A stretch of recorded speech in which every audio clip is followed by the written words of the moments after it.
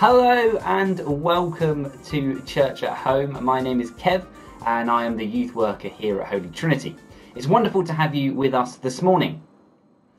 In Church at Home this morning, James is going to be continuing our short series looking at believers who are suffering in isolation. And today we're going to be looking at the Apostle Paul. Before we move into our time of worship, a big thank you to everyone who gave food items so generously uh, during harvest. Trevor called up with Laura, a worker at Filwood Hope, to find out how the food will be used to help those they work with.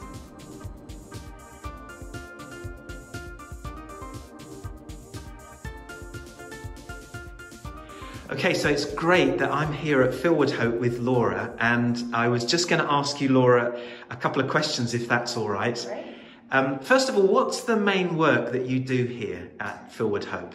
So here at Filwood Hope, we run as a drop-in centre for advice. So we advise people in the local area and further afield of any issues that they've got, mainly benefits, debts, housing, um, crisis. But anybody who comes through the door, we try our best to, to help them.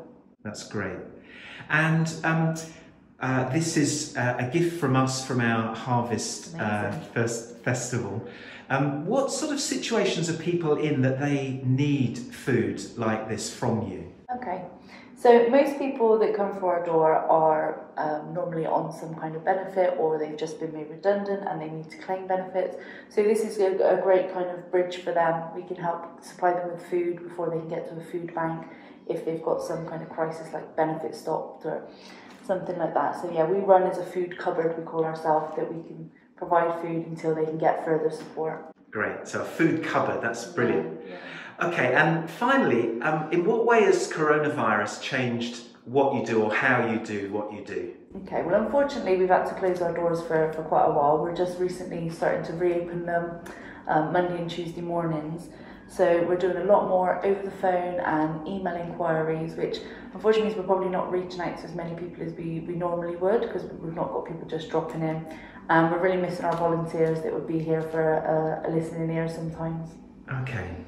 Well, we just want to encourage you. We think you do a great job. And uh, yeah, so it's with love from us at Holy Trinity and keep up the good work. We are really grateful. Thank you ever so much. Brilliant. Thank you. Thank you.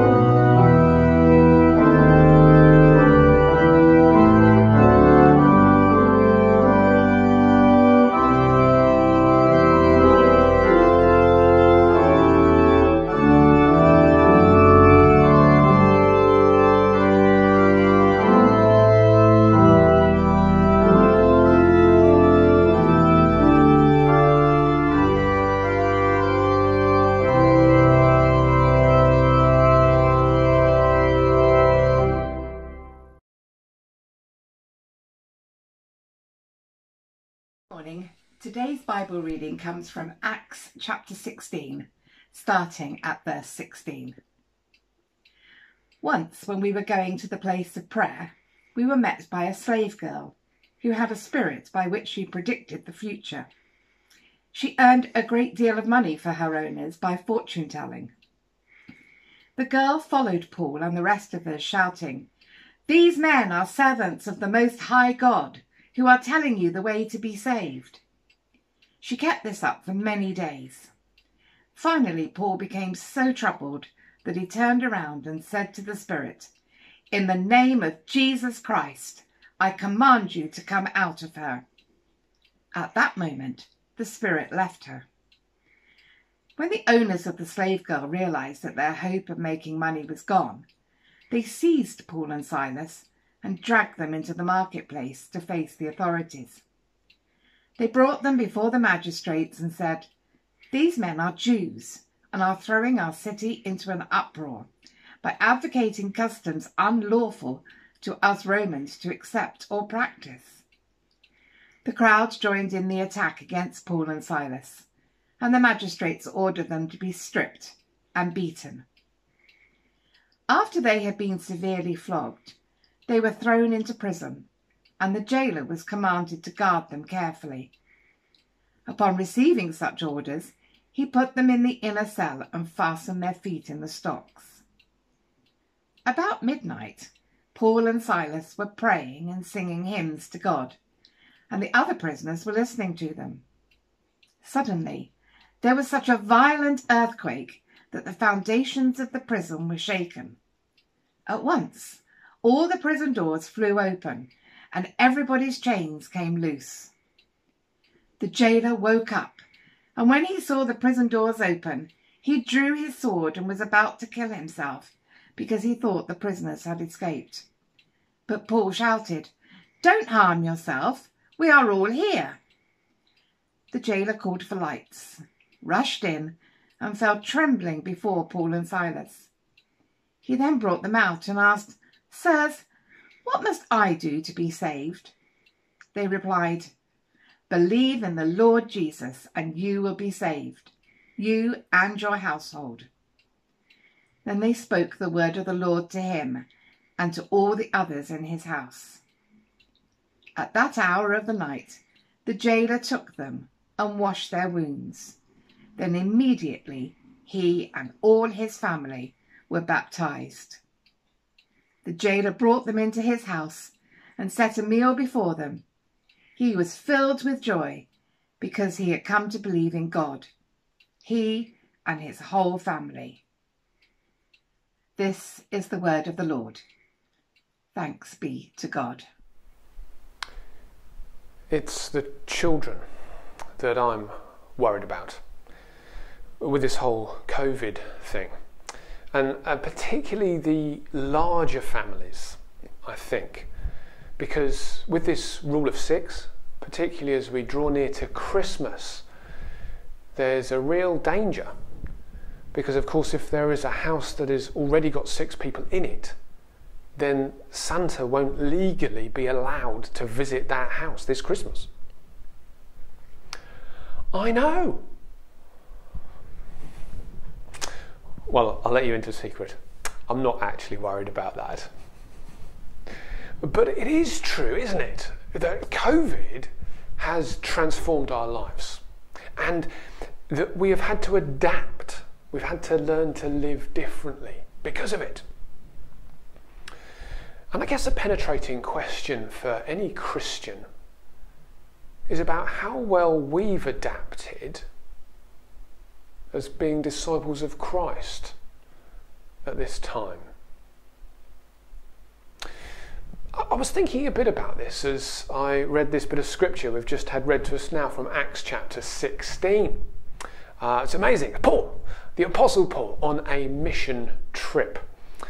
Uh, he's got some companions with him, including Luke. Now, Luke is the man who wrote the book of Acts. But he's also got with him a man called Silas. Great name, that. And all seems to be going well. They're making progress. So they've already had a prominent woman in Philippi, where they are, who has come to faith. a lady called Lydia. Great name, that. But then, suddenly, bang, Paul and Silas are thrown into prison. Their plans interrupted, their freedom taken away, their support structures disappear, and their lives are turned upside down. Well, our predicament has some similarities with that. Of course, it wasn't a virus that Paul gave Paul his confinement, and thankfully we're not in prison. But we have had our plans interrupted. We've had some of our freedoms taken away. How should we adapt as Christians? And what can we learn from how the Apostle Paul adapted?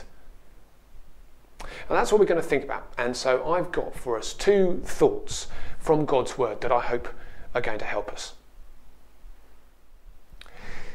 So here's my first thought worship whenever and wherever. Now, why do I say that? That we should worship whenever and wherever? Well, what's your first reaction when something goes wrong? I'm guessing it's not to immediately praise God. Well, it may not have been Paul's first reaction either after he was thrown into prison. But by midnight, he was praising his socks off. Now, I've spent some time in a prison cell, and I can tell you it is not a comfortable place to be. Um, just to clarify, in case there's any confusion, um, this was when I was doing work experience with the police force. And one of the police officers thought it would be rather amusing to lock some of us in a prison cell for a few minutes. Obviously, it was very funny. Well, I have to say that if I had been stripped, beaten with rods, thrown into prison, and had my feet locked in some stocks, I would probably be sobbing rather than singing. Which makes Paul and Silas quite remarkable. But let's just make sure we know what is going on here. Let me read from verse 25. About midnight, Paul and Silas were praying and singing hymns to God, and the other prisoners were listening to them. Well, we're told there that Paul and Silas pray and sing, but we're not told what they prayed or sung. Now, it could be that they were singing really great upbeat songs full of energy and joy. Maybe. Or it may be that they were singing songs of lament and sorrow and prayers that came from a heavy heart. We just don't know. But we do know that true worship comes from our hearts. So, genuine worship isn't just forcing out a happy song, even when we're not happy. Genuine worship is when our hearts offer to God ourselves. And that's why sometimes it, uh, it can be hard when a song or a hymn has some words that, well, are a bit naff. Or perhaps the tune of a song doesn't quite reflect our heart. And at times like that, it can be hard to sing.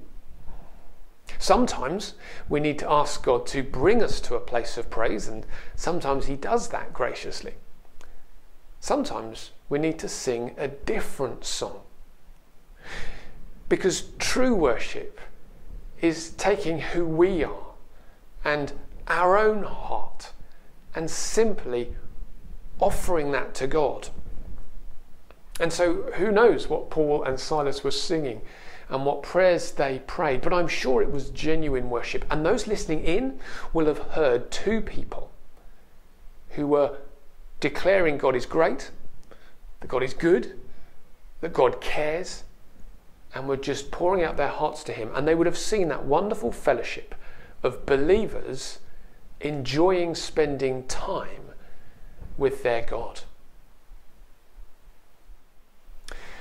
What particularly strikes me is how well they adapted their worship to their new environment. Now, we don't know what their normal worship environment was. Uh, it would be great to imagine, wouldn't it, that perhaps back at mission camp, where the team would gather with the new converts to Christianity, that they would worship, maybe around a campfire. And probably not, but you imagine someone pulling out a guitar and then praising the Lord in their beautiful place, a Mediterranean evening with the beautiful surroundings and countryside, praising the Lord, whilst all within the context of being on mission. Can you imagine how exciting that time of worship would have been? But nothing like that for Paul and Silas. They've been injured, thrown into prison, and there's not a worship group in sight. But they adapt. Well, we're in the midst of a pandemic and we need to adapt. We can't worship and sing and pray in church quite like we used to. It's different. Will we adapt? Uh, some people perhaps will only ever have prayed and sung in church. For those of us who are used to praying and singing at home, how well have we adapted to our new circumstances? Um, I've thought of, I've known of um, uh, married couples who've never really spoken about their faith, and of families who've never really spent any time praying about anything together. It, it's not deliberate, it's just the way things have evolved. But now is a fantastic time to re-evaluate, to think about our worship, and to realize with Paul and Silas that we can worship whenever and wherever. And right now, that's probably most likely for us to be at home. And we need to think about our worship at home. So, if you live in a household with other believers, why not share something that you learned from your Bible reading that day? Why not choose a song and enjoy it together? Why not mark out some time to pray about something, whether at meal times, bedtimes, other convenient times? And if you're on your own as the sole Christian in a house, well, don't let that stop you either grab a Silas to join you. Maybe in person, maybe on Zoom, maybe on the phone. Someone who you can just talk to, share something that you treasure about Jesus. Us Brits tend to be quite private about our faith sometimes. But I'm glad Paul and Silas weren't. Can you imagine them sitting there in this prison cell and them both sort of looking slightly awkwardly. Uh, if we're going to sing, we better do it under our breath. But I'm glad that they sang out. I'm glad that they enjoyed that moment of worship together. And how wonderful that others were able to listen in. It's one of the wonderful things when unbelievers get to see a genuine worshipping heart and they get to see our joys and our tears lived out in faith in the presence of God. And sometimes I think uh, I meet some Christians who think that um, they should present the perfect image to those who aren't Christians. You know, the sort of thing you have to pretend that you're absolutely fine, your faith is perfect, you have no questions, and you're not struggling. Well, of course, there's no such thing, and you know, people can uh, smell a rat and see what's fake. Much better to be genuine to have that genuine life lived out in faith, visible in worship, so that others can see. So I think a good question for us to ask at this time is how can we worship in this new context in which we find ourselves? So here's my second thought for us, and it's this expect the unexpected. Now, that's a bit of a cliche, really, isn't it? Expect the unexpected. But when it comes to the Holy Spirit, it's actually really quite wise advice. I don't suppose that Paul and Silas expected to be spending the night in prison. I don't suppose they expected a supernatural earthquake that was going to the, throw the prison doors open. But actually, what I'm really thinking about here is the jailer. Now, my son has been studying the Romans at school at the moment, and this week he had to go in one day dressed up as a Roman soldier. And of course, when you look at the things they had to wear, they looked incredibly impressive in their uniform and their armour. Sort of people you wouldn't want to mess with. Now, I suspect it would have been similar for the jailer, too. This was a man who was used to dealing with violent people who would show no mercy, who would throw them into prison and make sure they did not get out. A powerful man, not the sort of man you would expect to show any weakness, and certainly not the sort of man you would expect to be interested in Jesus. But we're told that when the earthquake happened and the prison doors flew open, the jailer came, and when he feared that the prisoners may have all escaped, that he was on the verge of committing suicide. Now, that is incredible, really, that a man so strong and powerful on the outside would have got to the point that he was about to commit suicide. It shows he was full of fear. He had great fear inside. Now, that may have been justified. I, I, guess maybe he would have lost his life and been executed himself if he'd lost any prisoners. But his first reaction wasn't to check whether they were still there. Um, after all, you know, Paul and Silas were in the stocks as well as the prison doors. Didn't do that. He didn't think of going out to try and find the potentially escaped prisoners. He didn't even think about who else he could blame. His first reaction was a flood of fear to the extent it was so overwhelming he was about to commit suicide. A man full to brimming with fear. Well, rather than face his fears, he decided the best thing to do was to take his own life. And sadly, that's true of many men today, and women, of course. Um, we see the horrendous suicide statistics and how it's increasing in this country. It's not good. There are many people who look fine on the outside and yet inside are crumbling and feel broken. And of course, not all of them will attempt suicide only a fraction of them will do that. There are many people who seem to be fine but are really struggling and are looking for a way to escape, a way out of their brokenness. Well, I know I personally am guilty sometimes of pigeonholing people and thinking, oh, they would never be interested in Jesus.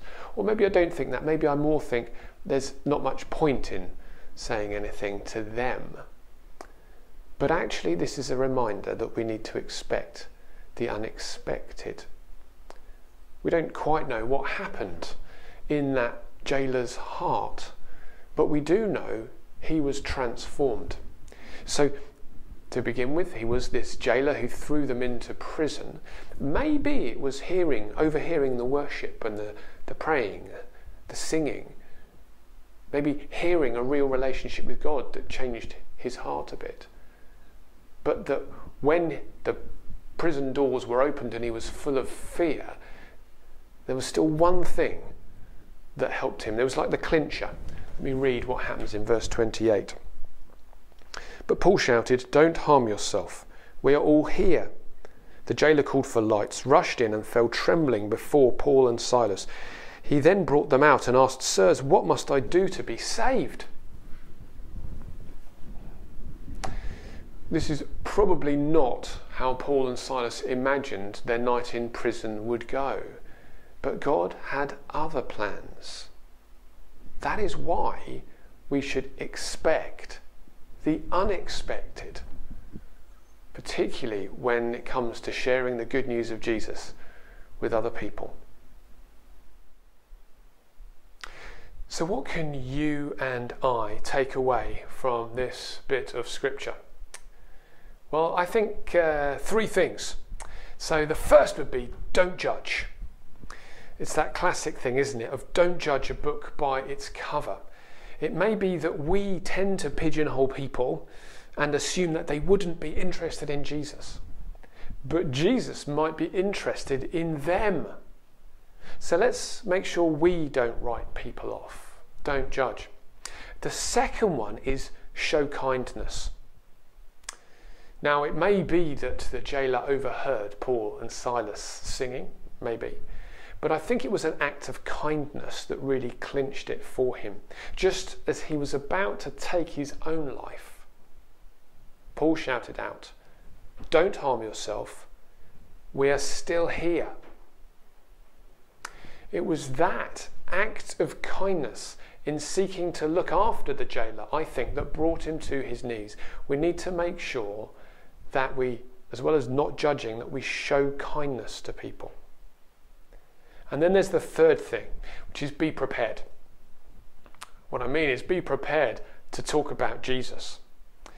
When that moment comes, an opportunity, because someone opens up, well, what are we going to talk about? Not religion, not philosophy, but about Jesus as Lord and Saviour. Will we be ready? It may not be that somebody falls at our feet and says, What must I do to be saved? How amazing would that be? But whatever the opportunity is that does come our way, will we be ready to talk about Jesus? And that way, that we'll be ready for the unexpected. And what an unexpected evening it was for Paul and Silas. Uh, I guess they thought that they would then be in prison for the night, but they end up in the jailer's house. The jailer had started off throwing them into prison and ended up washing their wounds. And Paul baptizes his whole household. What an incredible transformation. If we expect the unexpected and ask God, who knows what might happen in our families, with our friends, with our neighbours. If we let God work and offer ourselves to be part of it, we might end up in unexpected but very exciting places. So, as we come to a conclusion, let's return to COVID. COVID has changed pretty much every area of life in some way or another. The, the crucial question, I think, for us to consider, therefore, is how have we, as disciples of Jesus, adapted to these new circumstances? Will we worship wherever and whenever. We can't worship in church, sing and pray quite like we used to. Things have changed. How has your worship adapted over the past eight months? And how can your worship continue to develop going forward to get stronger? And secondly, Will we expect the unexpected? Are we tempted to write people off or to pigeonhole people and assume that they would have nothing to do with Jesus? Or will we be prepared to show kindness, to talk about Jesus as the opportunity arises so that more people can know about Jesus? I personally find those quite searching questions. I hope they're helpful for you. I hope that you'll ponder them today and this coming week as we think about how we can best adapt as disciples in these COVID times to be a blessing to others. And let's continue to ask God, the Holy Spirit, to empower us to be better servants as we follow our Lord Jesus Christ in these strange times.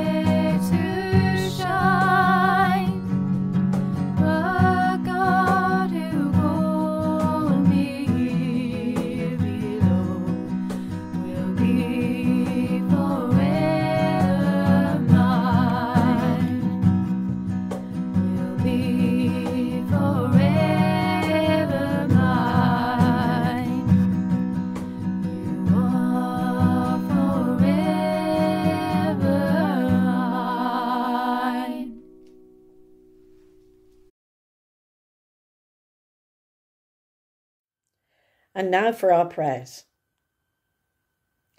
After each prayer this morning, we have a response. Response is, Lord, hear us. Lord, graciously hear us. For our government, we pray for our government at this time for wisdom and sensitivity as they attempt to manage the spread of the coronavirus by putting in place local restrictions. We pray that these may have the desired effect and that the virus will be brought under control. Lord, hear us.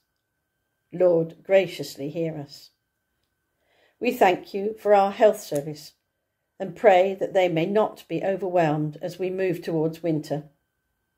We pray for your protection, Father, on those who work on the front line, taking care of our nation's health. Lord, hear us. Lord, graciously hear us. God of our salvation, you have ordained that we serve you in serving one another. Look upon this nation, burdened at this time of cares and anxieties, with infection, sickness, and untimely death. Grant us grace to work together with honest and faithful hearts, each caring for the good of all, that striving first for your kingdom and its righteousness, we may have added to us all the things that we need for our daily sustenance and common good. Through Jesus Christ our Lord. Amen and following our recent annual church meeting, we pray for all members of our PCC and Deanery Synod, and give you thanks for those who are prepared to serve in this way. We ask that you would give them wisdom and guidance as they make important decisions on our behalf. Lord, hear us. Lord, graciously hear us. For teachers and students, in this half term week, we pray that all teachers and students will be able to have a good break in which they will be rested and restored. Lord, hear us. Lord, graciously hear us. For our community, Heavenly Father, we thank you for the work of the Nailsea Community Group, initiated during the first few months of the pandemic but now as they continue to support our community in so many ways. Lord, hear us. Lord, graciously hear us. For the sick and bereaved, Heavenly Father, we bring before you now all who we know who are sick or bereaved.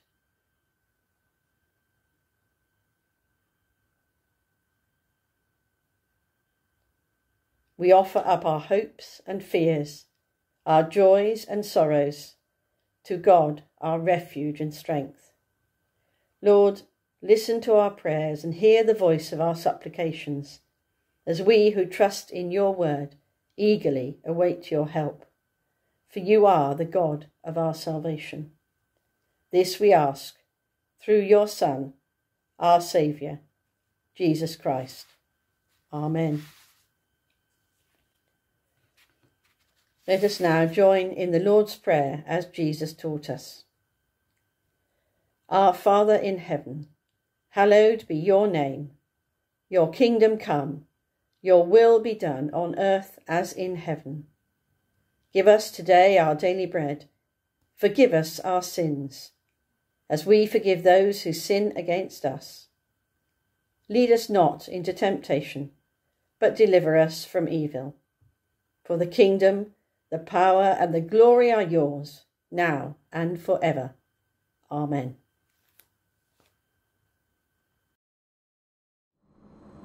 Well, that brings us almost to the end of today's Church at Home. I just want to say a big thank you to everybody who is involved in putting this Church at Home together.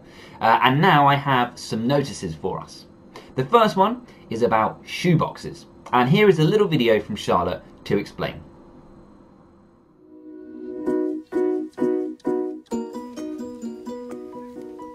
So today I'm going to show us where we can find the information for our shoebox appeal. If you go to Google and you type in link to hope, you will find their website. If you just click on their website, you'll see they've got lots of different things going on. But we want to click on the top bit that says Shoebox Appeal and then Shoebox Registration 2020. Now, there are two options this year. You can fill a shoebox, or they will fill a shoebox for you. Now, if you click on You Fill a Shoebox, you will find the information that you will need for this year's shoebox appeal. Now, you need to then click on the bit that says Shoebox Appeal 2020 leaflet, and that will take you to a page that shows you the leaflet that I would usually give you. And here you can print it off. It tells you what you need to put in either a family shoebox or an elderly shoebox. And you can print it off, fill it out, attach a £2 coin and a £1 coin, and then bring your shoebox to church. If you'd rather not fill a shoebox this year, you can choose the option of Link to Hope filling a shoebox for you. So you go to the same tab and um, choose We Fill a Shoebox. Now you can read the information on this page, really simple. You can fill out this form. Um, you can also put in the, uh, the comment bit at the bottom uh, what you would like in a card um, and what you would like to say. And I think you can also attach a picture um, as well, and so people would see who that shoebox is from, like you would do when you sometimes make a shoebox for yourself. And that is it. I hope this video has been helpful for you and you can re-watch it um, later on. If you are planning on making your own shoeboxes this year, you will need to deliver them to the church by the 4th of November. You can do this on Wednesday, the 21st of October, Wednesday, the 28th of October, or Wednesday, the 4th of November between 10:30 and 12. You could also deliver them on Sunday, the 25th of October between 4 and 5 pm. The 4th of November will be the last date for us to receive the boxes um, as we will need to deliver them uh, to Bristol. But thank you so much. Uh, please do get in touch with me if you'd like any um, advice or any questions. Um, I'd love to be able to help you. And yeah, I hope that we will be able to share um, some love this year uh, through these boxes. So thank you. Thank you so much, Charlotte. The other notice I have for us this morning is about prayer and praise. Uh, our next prayer and praise is on the 4th of November. Uh, if you would like to join us for that and you don't already receive the emails for prayer and praise, then do contact the office and they will be happy to help you to link up for our prayer and praise. Speaking of prayer, let me just pray for us all now. Father, thank you for the time that we've been able to spend together this morning. Thank you that we have been able to worship you. I pray that you would be with us this week. I pray that you would help us to discern how we might be being called to adapt as disciples in these current times. I pray that you would challenge us in that this week. In Jesus' name, Amen. And that brings us to the end of our church at home. Thank you all so much for joining us. I hope you all have a wonderful week. Uh, goodbye and God bless.